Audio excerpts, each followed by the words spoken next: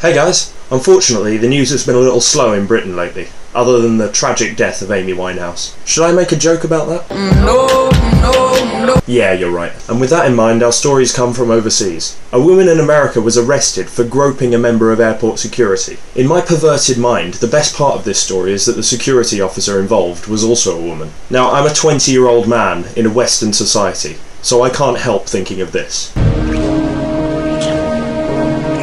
Oh wait, it says that one of them is a pensioner.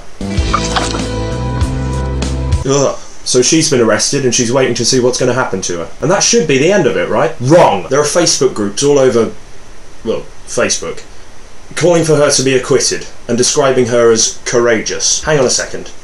This is my idea of courage.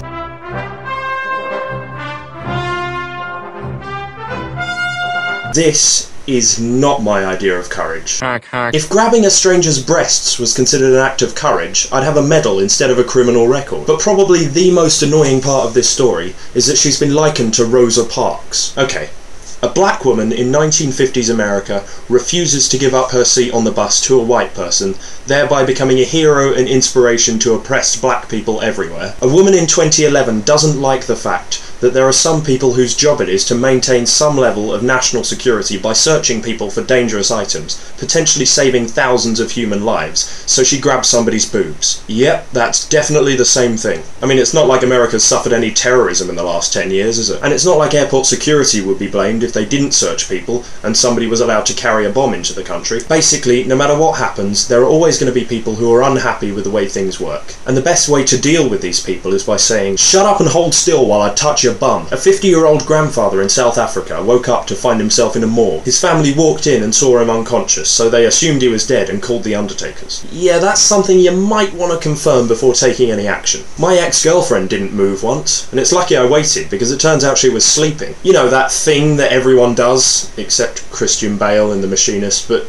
he's only pretend. What amazes me is that nobody checked to make sure he was dead. His entire family saw him, and not once did someone say, "Are- Are you sure he's not breathing? Or, Should we check his pulse? Or, Grandad, you awake? And they had a lot of time to do that. Doubtless they looked at him for a bit. Then there were a few minutes while somebody went away to call the Undertakers. Then they had to wait for the Undertakers. And then the Undertakers had to pick the guy up, wheel him out of the house and into the van. And not once did anybody check to make sure the poor bloke was actually dead. You know, I really want to keep my faith in humanity. But something about this story reeks of wishful thinking. Hi, Grandad. Grandad, you okay? Oh dear, I think he might be dead. He's dead. He's dead, everyone! Take him away. Apparently they thought he'd suffered an asthma attack, which I don't really think is much of an excuse. I'm asthmatic, and I've never woken up in a fridge surrounded by the recently deceased. But wake up surrounded by the recently deceased he did, and proceeded to do what I think we'd all do upon realising we were in a body bag. He screamed, and the two supposedly professional mortuary attendants ran away because they thought he was a ghost. The irony is that after being in a fridge for 21 hours, this guy woke up with a potentially life-threatening case of hypothermia and had to be taken to hospital. He's okay, but I bet he's dead angry. Sorry, that was the best joke I could come up with. And when they called his family to tell them that he was still alive, they were surprised and shocked. What's that? He's alive? Oh, that's wonderful. He's alive, everyone! Take off the party hats! They also said he's lucky that he survived so long in a chilled mortuary. I'll say. I mean, look at most people who end up in a mortuary. Dead. This story is all based upon assumption. His family assumed that he was dead. The mortuary attendants assumed that he was a ghost. So the obvious lesson here is that when you assume, you make an ass of you. Don't look at me, I had nothing to do with it. Nerdgasm of the day.